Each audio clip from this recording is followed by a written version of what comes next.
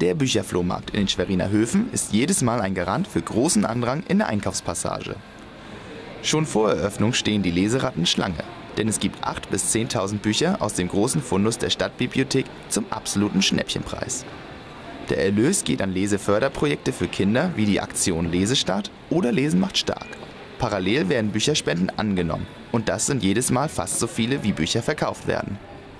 Der nächste Bücherflohmarkt findet am 4. und 5. März in den Höfen statt. Dazwischen gibt es auch immer kleine Flohmärkte direkt in der Stadtbibliothek.